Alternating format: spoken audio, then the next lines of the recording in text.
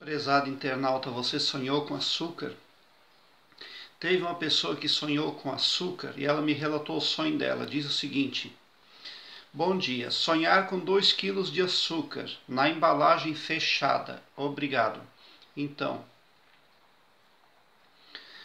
ela sonhou que tinha 2 quilos de açúcar numa embalagem fechada.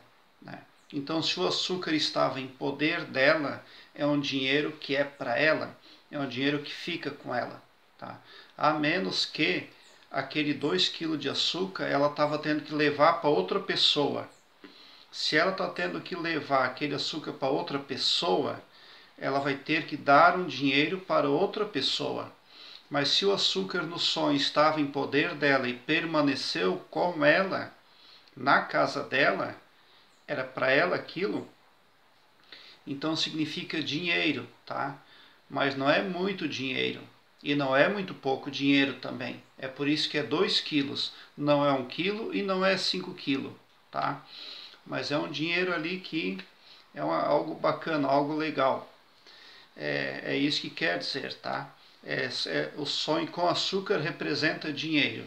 Dinheiro para a pessoa, tá? É, dinheiro para é, endereitar algo que está amargo. É um dinheiro que vem, mas para adoçar algo que não está a contento. Tá?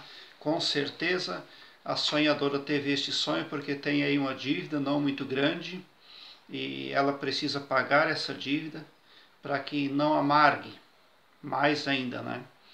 É por isso que sonhamos com açúcar. Sonhar com açúcar representa alegria, tá? Mas é a alegria de se ver livre de algo, tá? Por pagar algo. Prezado, prezada internauta, deixa seu like, se inscreva, ative o sininho para me seguir, porque quem me segue, segue o bem. E eu terei o maior prazer em interagir com você aqui nos comentários do YouTube. E ó, gratidão por assistir aos meus vídeos.